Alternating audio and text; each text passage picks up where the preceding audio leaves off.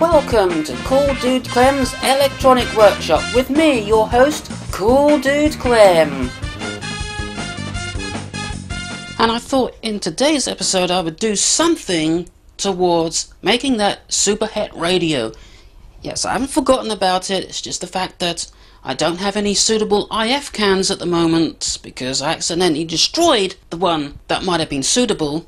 There'll be more about that later, but I thought, for now, come up with a circuit for a local oscillator, or at least part of a circuit for a local oscillator, and see about making a circuit that can test for coil resonance. Okay, so I thought I'd start out with making a local oscillator or um, experimenting with an oscillator circuit. And for some reason, I didn't say this when I shot this video, so I'm just adding this narrative in right now because for some reason in the video I just went gallivanting off without even explaining what the circuit is. So that's what this circuit is. It's a little oscillator that I made using a JFET. And yes, I will put up a schematic in a couple of seconds. So, enough rambling, on with the video. So let's test out this little circuit. This is the schematic for those of you who are interested. For now I'm just using a crystal, just something that it can oscillate with. So I'm going to turn the power on you can see the scope on the readout, I mean the readout on the scope courtesy of the other camera. And at first it doesn't look like it's going to work. The thing is, this oscillator needs to be sort of kick-started, so if I just touch the gate, the MOSFET, that should start. And there we go. We now has an oscillation. I had a little bit of trouble with this circuit at first, trying to make it working. It wasn't oscillating. And I decided to add a diode between the gate and the ground, and that seemed to sort out the problem. It's a lot more stable now. So let's see what the frequency is. Got to do this quickly because I got a lasagna doing in the oven. I don't mean one I bought from the shop or something. I mean one that I made from scratch. So I've got to keep an eye on that to make sure it doesn't burn. Okay, let's just probe. I can find it. Let's probe the gate. I don't mean the gate. I mean the drain. And Look at that! 4.43 megahertz. And if we take a look at the crystal, the camera will focus on it, I can't really, yeah, can't make it out because the camera's not focusing, but that is a 4.43 megahertz crystal, so that is working nice and good. Okay, I'm going to try with a coil now, just a coil on its own see if I can get this to oscillate. So it's not started oscillating. See if I can kickstart it. This one seems a little reluctant to oscillate. Maybe if I change capacitor, see, just pull a random smaller capacitor out of my parts box. See if it works with this one. Going on. Ah, there we are just happen to be using too large of a capacitor. So let's see what the frequency is. Of course, I don't know how much that parasitic capacitance in the circuit that's going to affect the actual resonant frequency of the coil. Just curious to what the actual frequency is, if we can see that. Alright, that's about 2.095 megahertz. And it stopped oscillating, so let's just start that again. I don't know what capacitor I've put in there. Let's see, that's a, I think that's a 102, so that's a 1 nanofarad capacitor. Okay, I'm going to try to connect a capacitor across the coil. Still oscillates. Come on. Work.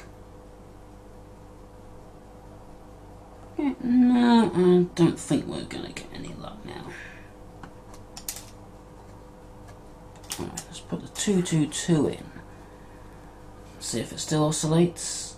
Also, I want to see if that changes the frequency that the circuit oscillates. So, this is a 2.2 nanofarad. I'm going start it up right away. Although that was probably influenced by me touching the capacitor, but let's see what we got now. Just get that on there. Yeah, it's gone down a bit. Thought it would. Alright, so let's see if we've got a, um, the makings of a local oscillator circuit. I've made another coil and I've got that hooked up to this variable capacitor. I'm going to apply power to the circuit and see if it oscillates at all. I'm generally looking for something in the maybe 2 megahertz to 10 megahertz range. Think maybe if I apply the power suddenly it might come on. Okay, it was worth a try. Still seems to be reluctant to self-start. See, oh yeah, there we go. It's oscillating, although for some reason the display on the scope is really dim. I don't bring that up a little. It seems to be oscillating at a really high frequency. It's a little bit too high for my scope actually to show it clearly. I'm not sure what the frequency is, but let's go down.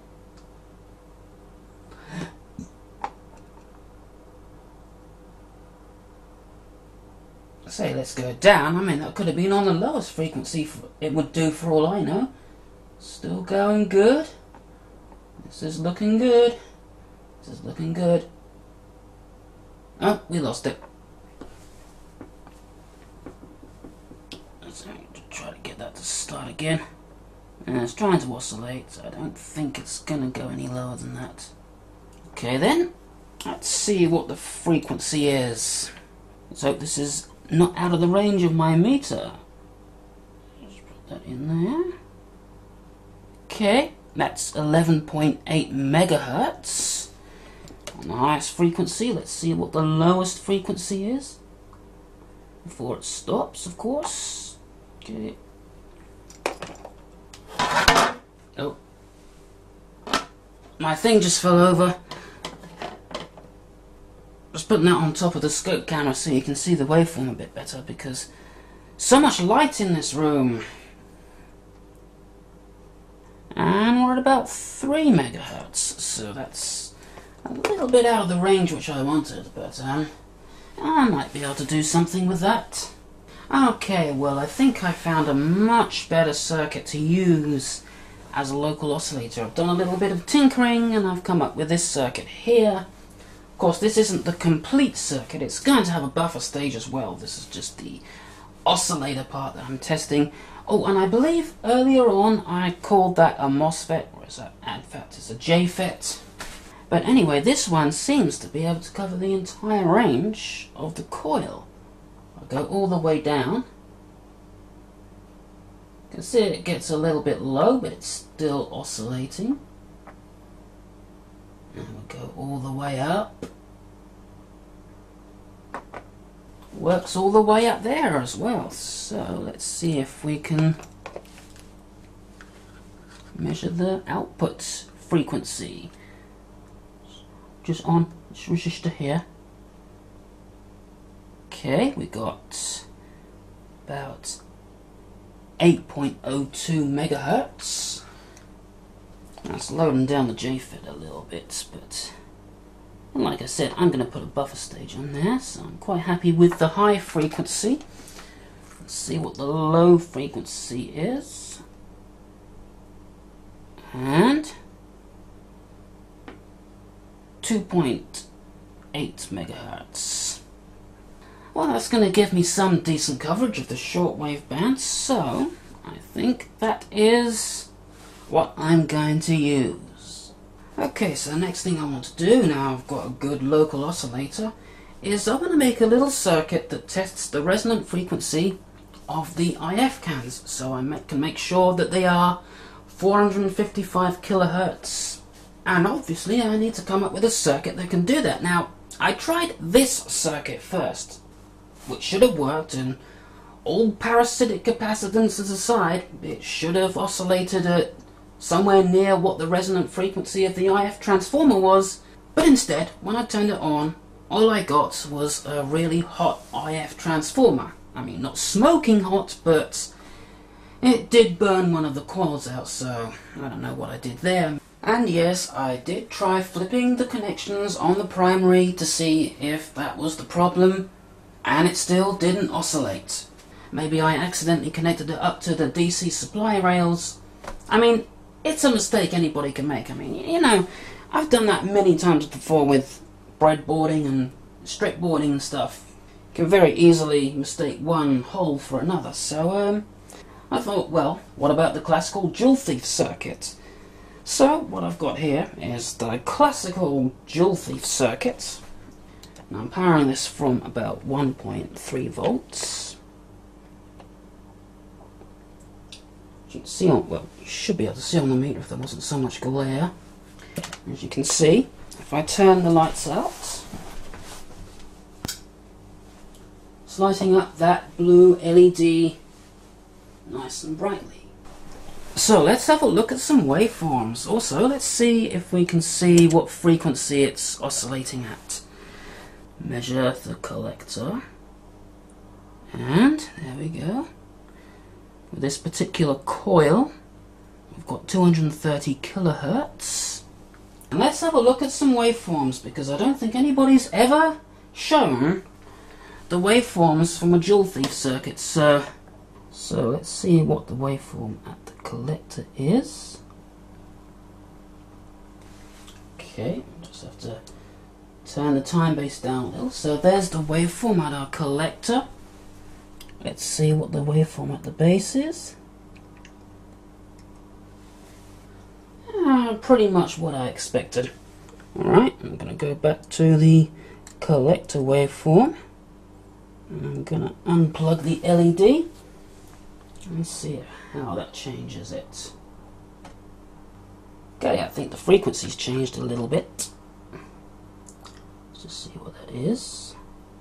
About 261 kilohertz now.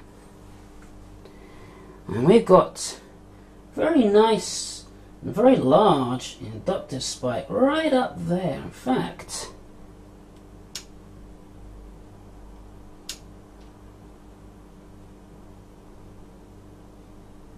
see if we can see how big that is. So I've got this on 5 volts per division, so we've got a spike there. 5, 10, 15, 20, it's about 22 volts.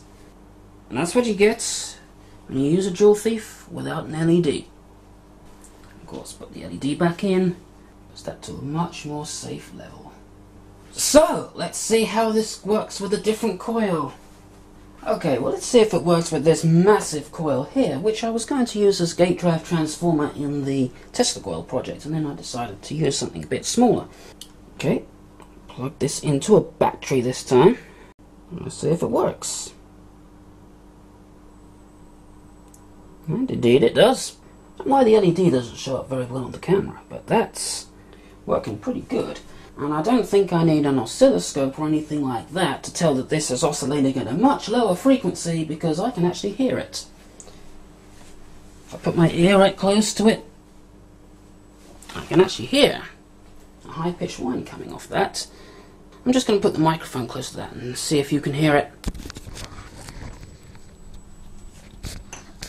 My homemade microphone. Might be able to hear that. Although the audio compression might muffle that somewhat, but let's see what our frequency is. 7.8 kilohertz. So you might be asking yourself, well, what am I actually going to do with this circuit? Well, the thing is, if it can oscillate using an IF transformer from a radio, it might not throw the frequency off too much and it might show me what the actual frequency of the IF transformer is. So if I replace this coil with an IF can and it oscillates around 455 kilohertz, we'll know it's good. Except my hopes aren't high for this kind of circuit, using that kind of circuit for that, so, uh, but I've got a couple of other ideas.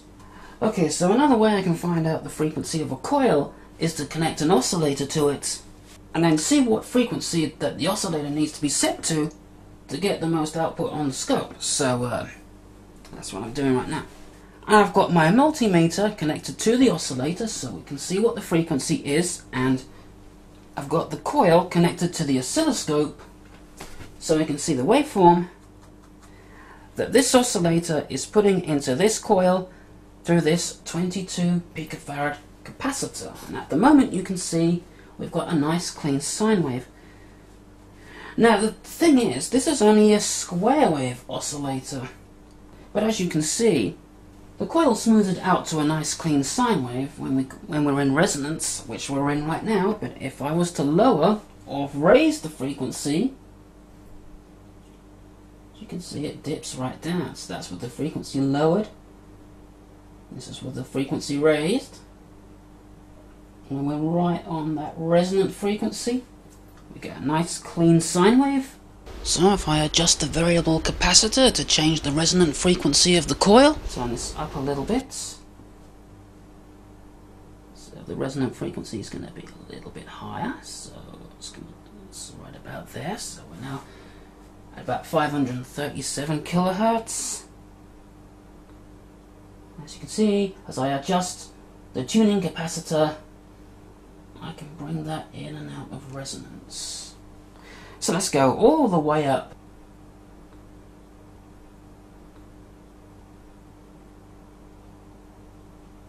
With that particular tuning capacitor. Which is right there. It's uh, certainly a lot of voltage now.